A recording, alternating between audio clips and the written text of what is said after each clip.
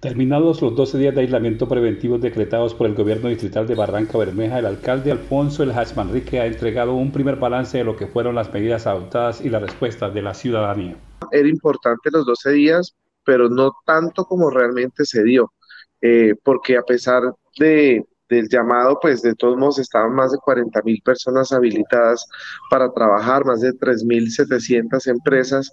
y lo que encontramos fue una reorganización especialmente del sector privado en, en determinar sus horarios eh, y sobre todo su modo de trabajo desde casa un ejercicio muy importante también de, de, muchas empresas. El mandatario de los barranqueños se ha referido igualmente a lo que viene ahora por parte de su gobierno para el control del avance de la pandemia en Barranca Bermeja, especialmente en materia de atención en salud y en el desarrollo de actividades para la recuperación de la economía local.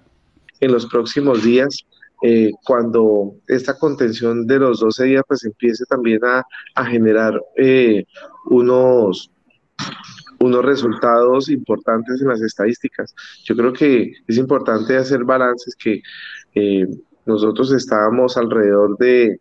300, eh, tres, veces los números eh, que tenía una ciudad como Bucaramanga. Hoy se ha dado totalmente la vuelta a esta situación y me parece a mí que si en gran medida es todos los resultados de todo lo que se ha venido. El alcalde de Barranca Bermeja ha dicho que de ser necesario adoptar de nuevo medidas restrictivas como las que terminaron este lunes, no vacilarían hacerlo de nuevo si de ello depende la vida de los barranqueños.